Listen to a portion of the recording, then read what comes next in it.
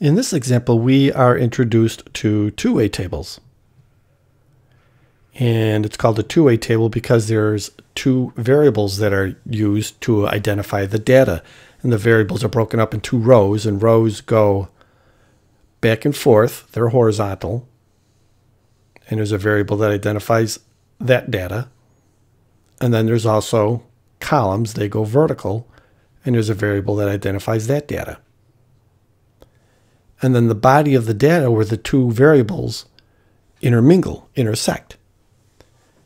And this is another graphic that we can use to help identify all the different outcomes that may exist between some sort of a scenario. So for this one, it says, suppose a local university football team listed 78 players on its roster. The two-way table lists the number of players in each weight category by school year. From the table, we can determine outcomes such as the number of players on the football team who are freshmen or weigh between 250 and 274 pounds. So we're looking for how many are freshmen or those that weigh between 250 and 274 pounds. So for our rows here, again, those go horizontal back and forth. The variable that identifies them is here's the player's weights. Those are like their identifiers. And you can see we have these different categories 150 to 174, 175 to 199, 200 to 224, and so on. And then across the top here, we have this variable here. This is the player's school year. And we have uh, freshman, sophomore, junior, and then, of course, senior. So if we want to know how many freshmen there are, well, here's the freshmen here. We could simply just tally them all up. We have three that weigh between 150 and 174, 8 between 175 and 199. And of course, if we just go ahead and tally them all up, we got 3, 8, 4, 2, and 3, and that comes out to be 20.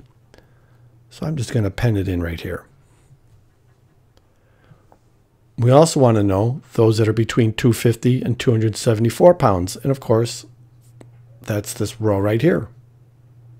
Two of them are freshmen, one's a sophomore, one's a junior, three are seniors.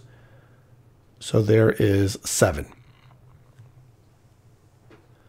So we want we want to know how many on the roster are freshmen or weigh between 250 and 274 pounds. Well, we wouldn't simply just go ahead and add up the freshmen. There's 20 here, and then add them to the 250 to 274 pounders. That's seven here, because as you notice, if this is the freshman,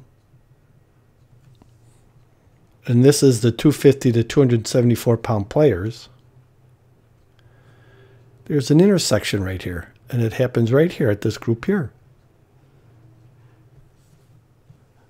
So that means some of the freshmen are 250 to 274 pounds, and some and some of the 250 and 274 pound players are freshmen. So we would wind up counting this group right here twice. We'd count them once as freshmen, and we'd count them again as 250 to 274 pounds.